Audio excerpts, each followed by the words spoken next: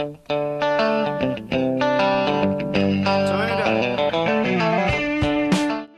well, well. Let me see who the media done hyped up this week.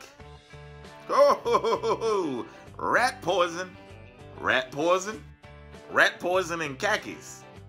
That was a pretty good game right there. Florida State just ain't been right since we put them hands on them.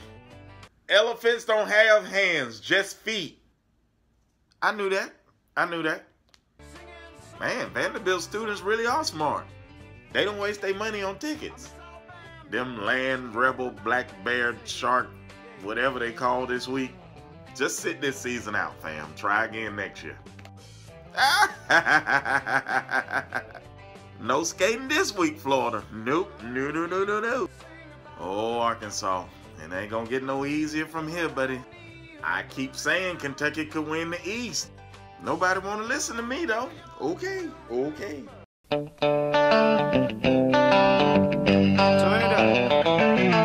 Ooh, Damien Harris is a grown man. Are we making field goals now? Gone, Jalen. We rolling now. We rolling. This, this is how we supposed to roll. Oh my goodness, everything going wrong. Come on, defense, give me something. Mika! Uh, bro, what is going on? Tackle this man.